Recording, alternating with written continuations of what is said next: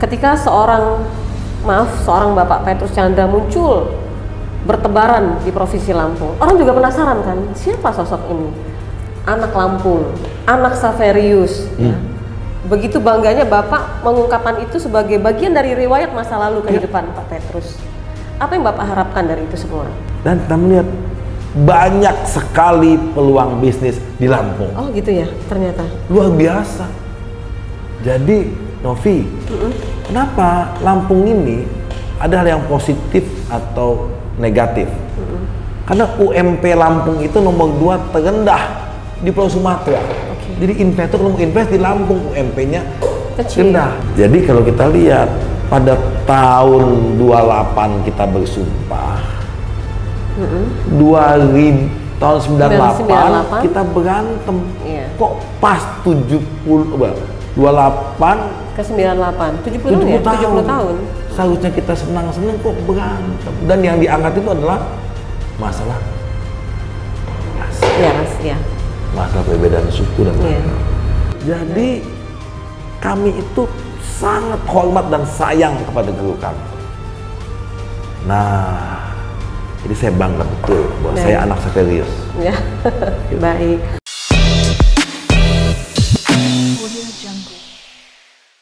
Assalamualaikum warahmatullahi wabarakatuh. Tabi pun. Pemirsa senang sekali sekali ini kita berjumpa dalam program kami Ngobrol Politik. Bersama saya sudah hadir seorang yang luar biasa yang menginspirasi untuk masyarakat di Provinsi Lampung dengan hal-hal yang telah beliau lakukan. Dan beliau juga saat ini eh, menjadi calon anggota Dewan Perwakilan Daerah atau DPD RI Perwakilan atau Daerah Pemilihan Provinsi Lampung. Ada Pak Petrus Canda. Apa kabar Pak? Baik, Novi. Terima kasih Bapak sudah menyempatkan waktu untuk berbincang dengan kami di Rilis TV dalam program kami ngobrol, ngobrol politik. Sebenarnya kita nggak mesti ngobrolin langsung politik kali Pak ya. Iya, yang Pengen tahu- aja. Iya betul. Kenapa ya kalau di banner Bapak itu ada tulisan Sanak Lampung. Ah, Anak Lampung. Anak Lampung. Nah itu kenapa itu Pak? Nah, ini yang perlu saya sampaikan pada Novi. Iya dan pemirsa ya. dan pemirsa tentu yang mudah-mudahan kita harus bangga di anak Lampung Iya. Kenapa Pak? karena Lampung ini bumi yang indah, damai dan luar biasa dan secara strategis tidak ada daerah di Sumatera yang lebih bagus dari Lampung. Kenapa? Karena orang dari Aceh, dari Medan, dari Riau, kalau mau ke Jawa dia harus lewat Harus Lampung, betul. Iya, Orang dari Surabaya, Jogja, Cirebon harus Lampung. Iya. Tapi mengapa Lampung masuk ke 15 provinsi termiskin di Indonesia? Yang kedua, bahwa menurut data yang diterima dari ICW dan KPK, Mm-mm. Lampung ini masuk daerah dengan tingkat korupsi 10 terbesar. Jadi udah tanahnya bagus, Alamnya begitu alamnya indah. indah, subur, tapi kok miskin? Oke. Tapi udah miskin korupsi lagi. Iya, iya. Nah itu yang pertama. Yang kedua, saya melihat begitu banyak menteri atau pengusaha besar asal Lampung. Asal Lampung, iya. Tapi setelah mereka sukses, yang dibangun Jawa. Kampungnya begini-begini saja. Nah itulah buat saya katakan, yuk pulang kampung. Tapi Bapak kelahiran Lampung kah? Betul. Oh, Saya tahun berapa tuh Pak? Tahun 60 sudah tua. Tahun 60. Tapi Bapak sempat meninggalkan Lampung lama ya kabarnya ya? tahun tuh saya tamat SMA jadi saya tuh lahir di Lampung TK SD SMP SMA di Lampung Iya. nah ini mungkin tradisi orang Lampung kan waktu itu belum ada perguruan tinggi seperti, Unila ya Iya. dulu sudah ada Unila cuma ya citranya masih Masih uh, masih kesan- kejar yang ke kesannya itu harus ke Jawa Iya. jadi setiap anak Lampung Oke. itu tamat SMA ke Jawa. Ini yang saya ingin menghimbau atau mengingatkan berapa banyak orang tua yang demi anaknya itu menjual sawah, menjual ladang, Iya. utang pinjem supaya anaknya sekolah ke Jawa. betul. Saat itu ya? Saat itu. Iya. Setelah di Jawa selama 4-5 tahun di sana sukses jadi sarjana. Dia kawin di Jawa. Enggak, Nggak pulang lagi. kampung. Sawah udah kejual. Nah, Iya, maka iya. kami bersama Iya. Kemudian ada lu istilah mulang tiuh, Mulang Tiu. mulang pekon. Mulang Yuk Pekon. kita pulang. Jadi Bapak berapa tahun? Berapa puluh tahun tuh meninggalkan Lampung? 43 tahun. 43 tahun. Apa yang menarik hati apa ya? Menarik emosi Bapak sehingga Bapak terpanggil lagi untuk datang ke Lampung pas bertepatan dengan adanya kontestasi pemilu ini, Pak. Sebetulnya ketika saya menginjak usia 60 tahun, hampir semua eh, bapak-bapak yang punya kampung, itu kami hanya pulang itu lebaran. Atau Momen-momen tertentu tertentu aja ya. saja. Dan itu kenikmatan bekal kita. Kan di Lampung ini kita melihat begitu banyak teman-teman SD kita, Iya. SMP, SMA, dan ada keguyuban. Iya. Kita nggak ngomong bisnis Iya. terus, Kebersamaan. kebersamaan. Dan kita melihat banyak sekali peluang bisnis di Lampung. Oh, gitu ya, ternyata. luar biasa. Jadi Novi, kenapa Lampung ini ada hal yang positif atau negatif? Karena UMP Lampung itu nomor dua terendah di Pulau Sumatera. Oke. Jadi investor kalau mau invest di Lampung UMP-nya Kecil. rendah. Jadi kalau dari segi investor bagus nih Iya, iya. Dekat ke Jawa, jadi mau ekspor gampang, UMP-nya rendah, dan jarang sekali ada kerusuhan politik Iya. atau kerusuhan sosial. Kenapa? Karena Gini rasio Lampung rendah. Gini rasio itu menyatakan, tau nggak Gini rasio D? Iya? Yaitu ada gap antara orang kaya dan miskin, Oh, rendah. oke. Di Lampung ini tidak gapnya nggak besar, itu Iya, kan iya, masalah kecemburuan sosial. Iya. Jadi oke. pulang kampung, kita Oh. bangun kampung kita. Itu yang memanggil Bapak untuk datang kembali. Terus Iya. kita juga dapat informasi, kita juga melihat di banyak media Bapak sebagai salah satu inisiator adanya forum kebinekaan. Bisa dijelasin Pak itu apa? ini kata-kata yang sebenarnya itu sudah klise karena pada tanggal 17 Agustus 45 kita, kita merdeka kita punya lambang negara Iya. tertulis dengan jelas bineka Tunggal tunggal Ika. ika Bapak dan Ibu saya ingin mengulang apa yang saya sampaikan kemarin ketika peringatan Sumpah Pemuda, ya.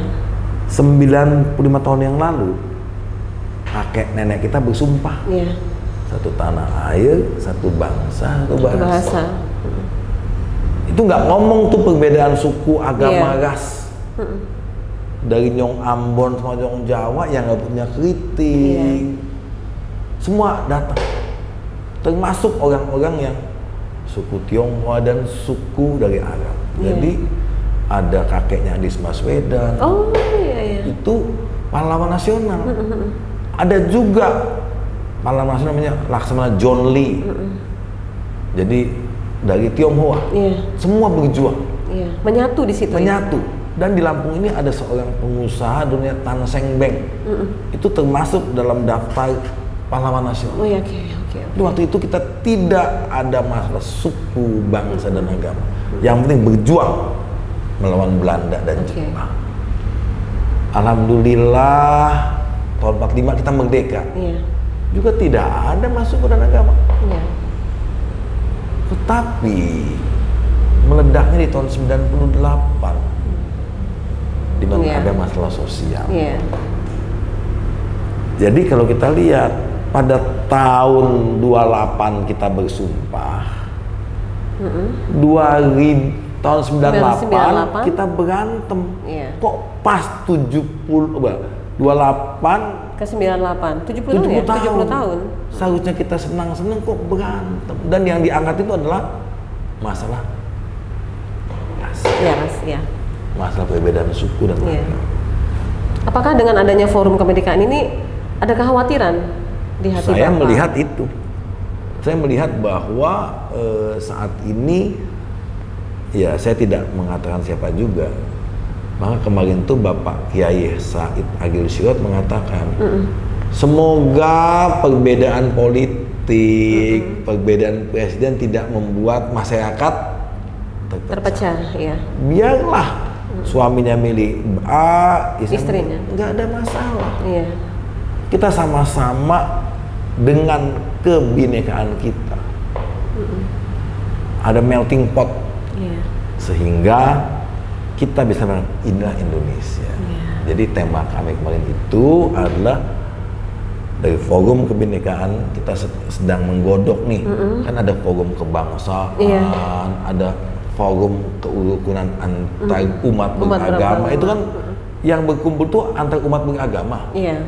kita buat forum kebinekaan jadi kita tidak Jadi berdasar atas nama Indonesia jadi. ya? Indonesia ada orang Ambon, Iya. ada orang Jawa. Di Aceh itu dulu yang berantem itu katanya TNI Jawa sama Aceh. Di Kalimantan itu orang Madura sama orang Dayak. Iya. Sama-sama Sama-sama Indonesia. Iya. Dan sebenarnya di Aceh sama-sama Muslimnya. Nah, maka menambah forum antar umat beragama, kita menginisiasi ada forum kebinekaan Kebinekaan. Di mana pokoknya mau warnanya apa yang penting Indonesia. Orang iya, penting orang Indonesia. Iya, begitu. Eh, begitu bangganya ya Pak, Bap- Bapak jadi orang Indonesia ya Pak. Pasti.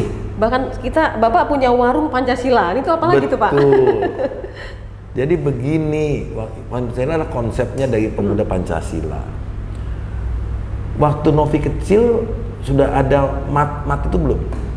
Yang mana tuh Pak? Misalnya kita banyak mall. Oh, banyak- belum ada Pak, belum ada. Pasar juga tradisional semua. Nah, ibu pernah nggak ngutang di warung ngebon? Pernah. Banyak. Kalau dulu waktu kita itu, bapak ibu saya itu, kalau dia suruh anaknya ke warung itu bilang aja ya bon dulu nanti mama Iya, bayar. iya, iya. Dan karena kenal dikasih, maka adalah keguyupan, kekeluargaan. Rasa percaya masih tinggi. Iya. Saya mengatakan, saya bisa nggak saya ngebon ke toko, ke mall? Di mall. Bisa Mana nggak? bisa? Di mat-mat itu Nggak bisa. Saya mengatakan bayangkan kalau seorang bapak pulang ke rumah istrinya lagi sedih, anaknya nangis, nggak punya susu, nanggung bulan, Iya. kemudian dia datang ke toko mau ngutang susu, Lukas Bon ya. dikasih nggak kira-kira? Saat ini kalau ke mana? Enggak, kayaknya kemungkinan besar enggak. Kalau seorang bapak atau seorang ibu dia kelaparan, mungkin dia tidak tidak begitu marah. Tapi dia akan marah Ketika anaknya. ketika anaknya nggak bisa. Iya. Dan Apa- itu Apa pun bisa dilakukan Lakukan. ya Pak. banyak orang berbuat jahat itu bukan karena dia niat, karena terpaksa. Nah itu yang saya katakan rasa persaudaraan, paguyupan antar kita sudah begitu tipis. Oh, Jadi ketika kita membuat lorong Pancasila itu, ini konsep daripada pusat, kita ingin bahwa kembalikan lagi keguyupan itu. seperti dulu ya. Nah, yang tidak adilnya padahal Pancasila itu apa sila kelima? Keadilan sosial bagi seluruh rakyat- Indonesia. Indonesia. Kalau Anda datang ke kampung-kampung, masih banyak tuh warung-warung. Kok belum ada franchise yang modern sih? Iya. Oh, karena nggak ekonomis jauh. Kenapa kok di kampung-kampung pemerintah membiarkan atau meminta rakyat kecil buka warung? Tapi begitu warungnya rame menjadi kota, datanglah para pengusaha. Matilah si para pionir ini. Iya. Adil? Ya nggak adil. Jadi ada yang mengatakan dari Pancasila itu banyak hal-hal yang belum dipenuhi, terutama sila kelima, Keadilan ya. keadilan sosial. Oke, baik. Baik Pak, sebenarnya banyak, banyak sekali loh kita yang mau obrolin tentang Bapak. Begitu ketika seorang, maaf, seorang Bapak Petrus Chandra muncul bertebaran di Provinsi Lampung, orang juga penasaran kan, siapa sosok ini? Anak Lampung, anak Saverius. ya. Begitu bangganya Bapak mengungkapkan itu sebagai bagian dari riwayat masa lalu kehidupan Pak Petrus. Apa yang Bapak harapkan dari itu semua? Saya harapkan nomor satu, kita sebagai putra Lampung, orang yang lahir di Lampung, kakek saya lahir di Lampung, bapak dan ibu saya lahir di Lampung, dan saya lahir di Lampung. Oke. Jadi kalau saya bukan anak Lampung, saya anak mana? Ya. Tapi coba kalau anak Lampung, kita kita ini sekolah di Jogja, enam bulan bisa nggak bahasa Jawa? Bisa kali ya? Pasti bisa. Pasti Atau bisa. terpaksa bisa. Karena hari-harinya udah begitu Gitu. sih. Ya. Tapi kawan-kawan kita dari Jawa sudah 100 tahun di Lampung. Apa bahasanya? Tetap. Tetap bahasa Jawa. Berapa banyak anak-anak kita yang tidak menghargai budaya dan kesenian Lampung. Padahal menurut silsilah kita punya aksara Lampung. Sesuai dengan antropologi bahwa kalau suatu suku punya aksara sendiri ini berarti sudah punya suatu kebudayaan dan hal yang tinggi. Iya, nggak disem- nggak dimiliki hampir Nggak. daerah lain tuh. Enggak ada. Nah, itu yang harus kita lakukan. Menapis. Kenapa di Jogja itu membat orang kita tuh nonton orang membatik bayar, belajar membatik. Sekarang semua batik sampai Malaysia pun mengaku batik itu punya dia. Iya. Kita punya tapis. Kok nggak dikembangkan sih? Nah, jadi intinya saya ingin mencoba satu membangkitkan kebanggaan kita anak Lampung. Oke. Himakam siapa, Siapa lagi? Maganta, kapan Kapan lagi? Siap. Ijo Jimogam. Iya. Nah, jadi saya mau coba itu. Yang kedua usaha. Di Lampung ini tanahnya subur, tidak ada masalah sos atau sedikit sekali masalah sosial. UMP murah, ke Jakarta dekat. Iya. Jadi dari segala sesuatu Lampung. Dan sebagai anak Lampung, kita nggak takut masalah sesuai uang kita anak Lampung. Iya. Masa takut dipalak sih? ya kan kita Iya, tahu iya, iya. betul itu. Jadi saya katakan bahwa kenapa saya ke Lampung? Karena saya ingin yang kedua adalah di sisa usia saya saya ingin membangun Lampung supaya ada yang dikenal lah. Begitu. Dan kenapa Nasaferius? Karena saya waktu kecil itu termasuk keluarga yang miskin sekali Bapak Safirizio SMP atau SMA? dari TK. Oh dari TK. Saya oke. dari TK, SD, SMP di Saverius Teluk, SMA Saverius Pahoma. Oke. Iya. Jadi saya bangga betul dengan sekolah tersebut karena di tempat itu anak-anak miskin yang berprestasi diberi kesempatan sekolah dengan biaya yang sangat murah atau hampir tidak bayar. Iya. Saya lulus SMP. Waktu saya mau ujian, tinggal dua hari mau ujian, saya tidak punya uang untuk bayar uang ujian. Tapi oleh kepala sekolah saya dipanggil, ini lu kartu ujiannya, silakan sekolah ujian tanpa uang. Oke. Can you believe? Yes. Dan Saat waktu, itu. waktu kami bersekolah itu, orang tua itu sangat percaya kepada guru. Iya. Dan guru itu mengajar dan begitu tulusnya. Iya. menganggap kami sebagai anak. Jadi waktu kami kecil itu, kebetulan, kebetulan saya enggak, itu guru itu memukul, menampar, itu dengan dengan kasih sayang. Dengan kasih sayang betul. Dan anak yang dihukum tidak berani ngadu ke Iya. ibu bapaknya. Kenapa? Kalau dia ngadu dipukul lagi di guru. Bapak Malah kena pukul lagi ya? Nah, Iya ya. Jadi bayangkan begitu percayanya orang tua kepada sekolah. Iya. Dan kami, ya kebetulan alhamdulillah saya nggak pernah dipukul, walaupun agak bandel sedikit. Berarti nggak pernah nakal bapak dulu ya? Nakal juga, tapi masih ya dalam batas-batas lah. Jadi kami itu sangat hormat dan sayang kepada guru kami. Nah, jadi saya bangga betul bahwa Baik. saya anak Saverius. Ya. Baik. Komunikasi sudah dijalin terus Pak dengan alumni-alumni dari TK sampai SMA? Tentu, itu buat kenapa saya pulang kampung. Karena kebetulan saya untuk angkatan saya, saya diminta oleh kawan Pom menjadi ketua alumni angkatan. Oh ya, oke. Supaya ad- makanya tadi beruntung ada WhatsApp. Iya. Kalau kita nggak ketemu nih. Betul betul. Begitu. Hmm, Bisa ngobrol di grup itu ya Pak ya. Iya. Baik. Pak Petrus banyak sekali yang kita obrolin. Mungkin di sesi kedua kita buat lagi ya Pak ya. Terima kasih Novi. kita pengen eh, kita sudah tahu sejauh ini bagaimana riwayat sejarah dari seorang Petrus Chandra. Kenapa beliau dari 43 tahun meninggalkan Lampung balik lagi untuk membangun Lampung.